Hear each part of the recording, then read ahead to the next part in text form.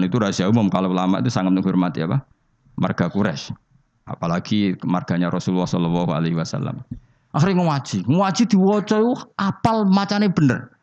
Orang diapal loh, manyen roh terkipe, maksudnya nang koyo kowe koyo koyo kowe kan diapal. Semenjak niku terus innalaka la sya'nan wa innalaka la nuron fala tudfi'hu bil maksiyah. Kowe ben akan menjadi orang besar, maka jangan matikan nur kamu dengan maksiat. Jadi tradisinya gitu. Ini saya tahadus bin nikmah. Ini saya bukan sombong, ini tahadus bin nikmah. Kenapa saya diterima Habib Umar ketika baca kitabnya? Saya belajar kitab itu lama sekali.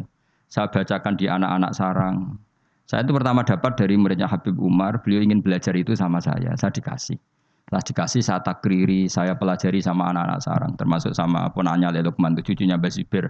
Banyak sekali anak sarang belajar kitab itu dari saya. Kalau ada yang ke Yaman, tak titipin supaya membelikan kitab itu. Setelah saya takriri, saya apa terus Beberapa kali sebetulnya saya ketemu Habib Umar di Jakarta, tapi saya tidak sowan di Langitan ya pernah saya tidak sowan karena saya apa ya menghormati kiai sepuh. Tapi pas di Semarang, adalah saya itu diminta sama panitia supaya ketemu. Kebetulan ketua Badan Wakaf Unisula itu banyak yang kenal saya. Hanya kitab itu tak bawa. Jadi Habib Umar utama itu baca takriran saya. Saya itu baca punya takrirannya banyak. Maksudnya tulisan tangan saya itu dibaca beliau banyak. Makanya beliau tahu kalau kitab itu saya pelajari.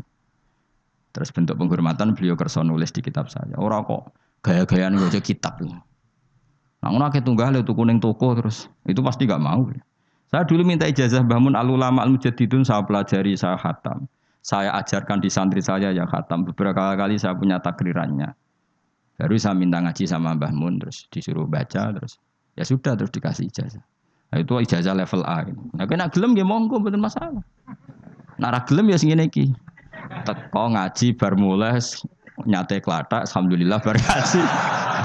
Sekono pokoknya lapor bojo, wah bar ngaji, ngaji deh pos pokoknya ngaji nih gue enak. Lah yang nerang nopo, gak perlu, gak perlu iki lo rekaman nih. Aduh, murid tak dong ini Agar kon nerang wong liya seribet ya tak kei file. Takok barang. Ayo kelakuan ngono to, aja. Enggak kelakuan ngono to. Milih nerangno apa milih ngekei file? Repot, repot. Jadi saya itu kok kitabnya Habib Salim Asadiri juga gitu. Saya punya tak sinauni tak takriri. Tapi beliau karena sudah intakola ilar rofiqil ala saya tidak sempat ketemu. Andai kan ketemu saya berani ya setelah saya nakriri karena itu ya begitu Imam Syafi'i ngaji sama Imam Malik itu salah hatam watok hatam watok beliau hafal baru ke Medina nyari Imam Malik. Orang kok orang hafal itu gak sanggup deh nih. Sanggup hafal maksudnya sanggup hafal paham lagi ngaji Imam dan ini senengnya aku kowe wapal jalalen terus alim terus ngaji ning kene masyaallah kowe apa nek mati. Tapi mesti tak jamin wong loro sing ngaji yakin misalnya ngono. Nganti ngaji jebule akeh ngene mesti gak partai iku. Dong toh tersinggung toh. Kita ya do santai. Ah, gak harga diri. Mulane kula gojol gak haram karena wis sing digojol ora harga diri ya santai. Saking apik atine menawa. Dadi gak gampang gelo. Kolbin Salim apa? Jadi di sini jenenge ngaji ku ya ngono iku kabeh. Dadi Imam Imam Ghazali ya gitu, sinau kitab Imam Haromen, alim apal baru ketemu. Jadi ketemu ya cepet. Ya cepet banget. Dan akhirnya gurunya langsung ngeke ilmu sing kelas A karena wis ketok murid iki paham. Makanya Habib Umar bilang ke saya e, diberi izin vita amuli hadal kitab wa tadabburi ma'anihi karena memang beliau tahu kalau saya punya takrir beliau sempat baca beberapa halaman. Dan itu memang ada dulu ulama. Jadi disinauni dulu baru ngaji. Dulu saya ngaji Wahab sama Mbah Mun saya sinauni dulu, ngaji ya saya sinauni dulu. Jadi saya tinggal ngecek. Tadi misalnya saya rekib rofa kok Mbah Mun rofa, saya nasob Mbah Mun nasab. Berarti saya benar 100%. Tapi nak gue misalnya bengi buat terkep rofa kok Mbah Mun mau cejer. Berarti tekem cek kuali. rofa kok menculate jeri kan terlalu. Misalnya man iku wong, bengi mbok min. Itu kan terlalu. Manu nih wong min iku dari kan. Kacake yo kakean le dul dul apa? Paham apa? Sing repot nak titik. hayatun ulo. Padahal tulisannya habatun biji. Mulane jadi guyonan, salah titik jadi mati. Ono murid tuh goblok era karuan. Dikandani gurune, habbatun sauda dawaun mingkuli Jadi biji hitam iku dawaun mingkuli da. Jinten apa? Hitam. Kita pedek nih hayatun sauda. oh, dawaun Wah, aku udah ulo ireng. Lah sing jenis ireng kobra. Oh, wong ijazah ini kitabe apa? Hayatun sauda dawaun min kulita. Jadi maknanya ya utawi ulo sing ireng iku dawaun. Bareng golek ireng tenan, dekne dhewe nyekel ngobat to. Dekne kan ora kepikiran nak iki beracun wong dekne kitabe obat. Nak hayatun niku obat. Cekel dicokot ya wis takobala wa minum ya kobala. Mulane dadi guyonan ngaji sing tahqiq salah titik nyawa melayang iku. Salah titik nyawa melayang. Mergo kitabe habbatun sauda dawaun mingkulida. Utawi apa? Habba iku biji sing ireng. Kita pedekne hayatun ora dijekno. Ora dijekno terus golek hayatun Niku korban kamus sih. Mana bener ki ngaji mbek guru ini bener.